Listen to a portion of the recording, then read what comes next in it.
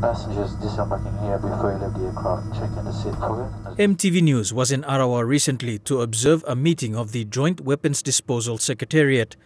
Among those present was Commissioner of the Bougainville Police Service, Francis Tokura.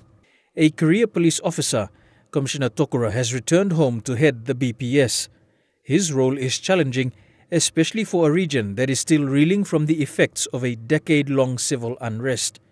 And with weapons still in the hands of different factions, the Bougainville Police Service's role in enforcing the rule of law is even more challenging as they are not allowed to carry weapons. Uh, find it very difficult to enforce uh, the law fully uh, of the mere fact that most times uh, where crimes are committed, firearms are used or other weapons are used.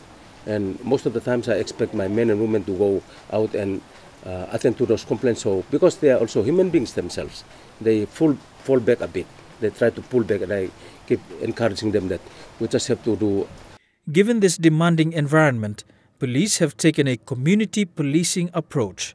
Most importantly, uh, I'm encouraging them to do a lot more awareness. Uh, just to go into the communities and tell them that the use of firearms is, is not very good. It's instilling fear in the communities as well. A large part of community policing is utilizing the more than 300 auxiliary police officers within communities throughout the autonomous region. But the community auxiliary police are actually based in the communities. Uh, the, the, the main role is to be in the communities, try to do the, whatever they can uh, in their own uh, capabilities, capacities they, that they have to try and uh, maintain rule of law in, in, in the communities. But the, the total strength of the regular men and women who are supposed to be fully enforcing the rule of law on Bougainville is just 242. And that is not sufficient. However, as in other parts of Papua New Guinea, policeman power remains an issue, with the police to population ratio on Bougainville way lower than accepted United Nations standards. Uh, United Nations standards uh, is one policeman to every 450 population. Uh, in our case, it's about one policeman to about one 1,000 plus population. It, it's it's very uh, it's a very challenging uh, situation we are in at the moment.